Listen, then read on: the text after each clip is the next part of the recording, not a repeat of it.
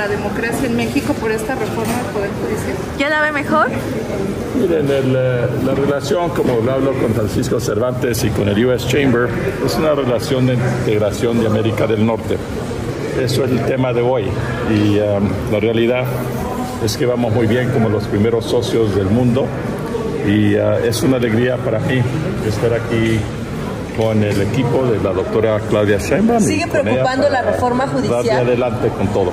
¿Sigue, preocupando la reforma embajada? Más después eh, hago A comentarios. la salida ya con más. Muchas gracias. Ya, ya con- Gracias. ¿Contento de volver a Palacio, embajador? ¿Cuánto tiempo tenía sin visitar Palacio? ¿Está contento de regresar, embajador? Es que, es que era para Es que, es que no lo habíamos visto. Yo, yo he vivido al Palacio muchísimas veces. Es un em, lugar muy especial, muy espiritual.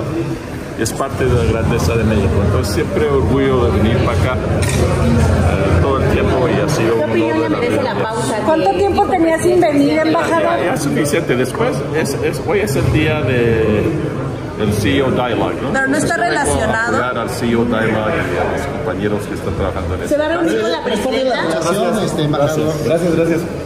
Déjalo pasar. Gusto regresar a Palacio, embajador.